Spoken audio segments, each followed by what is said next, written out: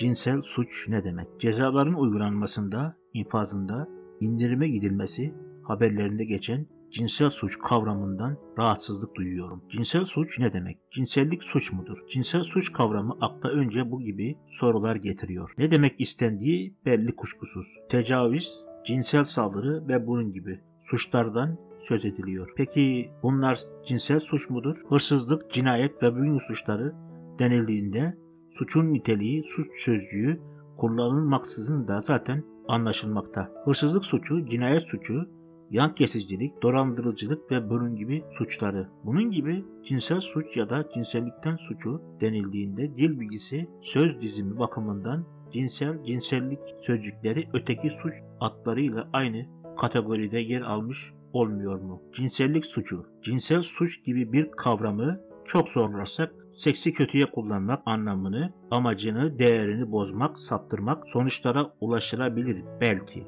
Bu da suç, cürüm değil. Bir hata, yanlışlık, hastalık, sapkınlık gibi bir şey olabilir. Böylece öyle sanıyorum ki cinsel saldırı, tecavüz gibi suçları cinsel suç diye nitelemekle bu dil yanlışlığıyla hem cinsellik kavramını, olgusunu farkında olmaksızın hırsızlık, cinayet gibi suç kategorisine sokmuş oluyor hem de cinselliği zaten suç olarak algılamaya yakın bir toplumun zihnindeki ya da alt bilincindeki ön yargıları harekete geçiriyor.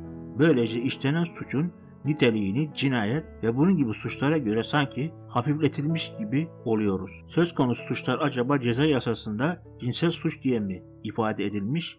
Kaygısıyla ceza yasasının ilgili maddelerine göz attım. Çok şükür öyle değil. Bu alandaki suçlar yasanın 102. maddesinde cinsel saldırı veya tecavüz suçu başlığı altında toplanmış. Yani cinsel suç değil, cinsel saldırı veya tecavüz suçu. Doğrusu bu. Doğrusu bu ifadede bile cinsellik kavramı tartışılabilir. Çünkü söz konusu olan saldırı cinsellik kavramını aşan bir anlamda mahremiyete, bir temel varoluş hakkına, insan olma kimliğine yapılmış bir saldırıdır. Yapılabilecek en ağır aşağılamadır. Bu saldırıya uğrayan kişinin bütün yaşamınca ağır sonuçları olabilecek bir suçtur. Hayvan diye adlandırdığımız sevgili varlıklar bilincinde olmasalar da gerçi bunu da bilmeyiz.